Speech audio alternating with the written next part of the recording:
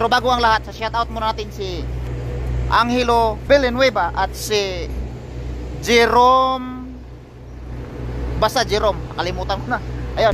Yun, what's up mga katambayers? Magandang magandang araw, panibagong buhay at panibagong vlog na naman tayo. Nandito tayo ngayon sa Alwatanya Containers Factory. So hindi container na malalaki mga katambayers.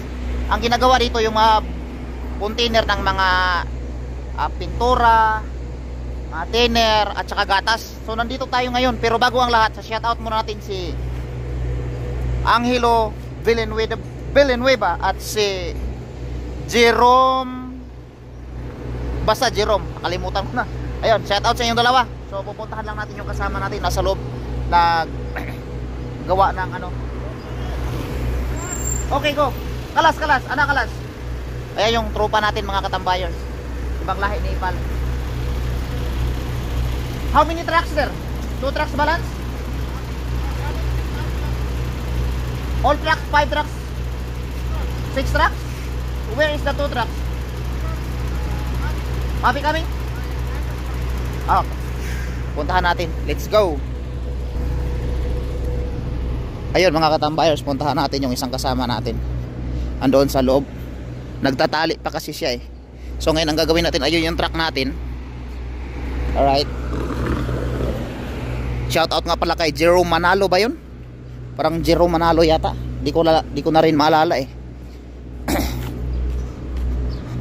wala may security titignan lang natin ara sawa-sawa ha happy muskel anaro sawa-sawa ba rin ara rakip tarpulin tulungan lang natin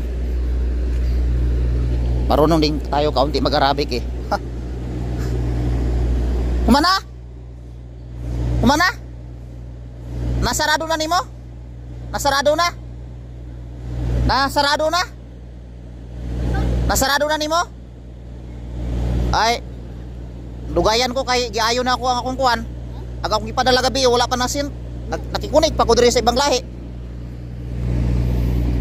Pila ka palitay mo gamay raman siguro. Puro usad dali ara kayo. Lugayan mo ko. Ha?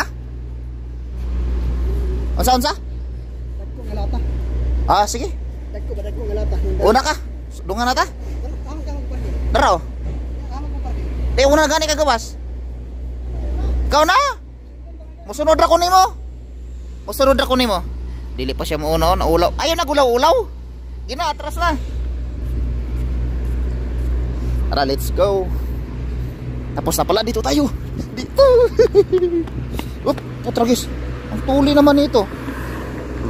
Tragis na counter flow. oh. Gago ang puta.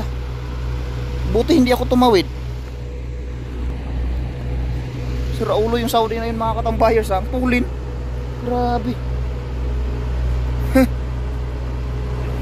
Ayun yung truck na. Papakita ko sa inyo mga katambayers yung truck ko. Ayun yung truck ko. Man TGX 20 480 horsepower. So ngayon ang hatak natin mga katambayers ito ay side curtain. So ang ibig sabihin ng side curtain refer din siya na may makina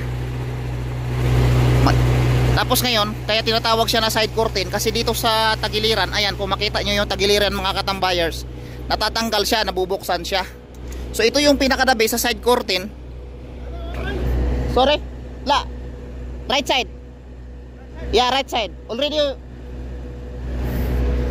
Piniste ka patag English-Englishin mo pa ako eh. Ayan. Kaso nga maluwang tong pagkakabit na ang lock. Tapos pwede din siya sa likod. Ito, ito, ito. Kaso nga nakasilyo na tayo. So inantay lang natin yung kasama natin na lalabas. Si, ano bang pangalan nun? So ayan yung plaka natin, yan yung pinaka-importante. Tapos ngayon, ito, maganda itong pagkakabit. Kung makita nyo, parang taladya din, parang repair. Kasi ako mismo naghigpit nito eh. Tapos ang pinaka-importante, importante, yung mga gulong natin na goods pa kayo. Baga pa kayo ba? Kapal pa oh. Mm. Lahat yan puro yan Firestone tara ikutin lang natin yung buong sasakyan natin at alis na tayo inantay lang natin yung kasama natin ayan ipal tuturuan natin kung saan ang iyang saan yung bubuksan niya Ada remove ba? Right side.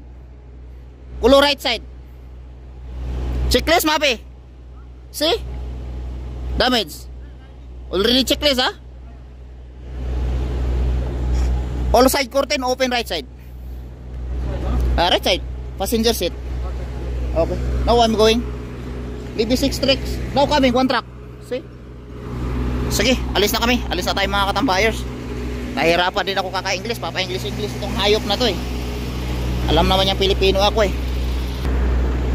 Hanggang dito na lang mga katambayers. Maraming maraming salamat po. Shout out kay Shout out ulit sa ating mga viewers na walang sawang sumuporta. Okay, bye-bye. I love you.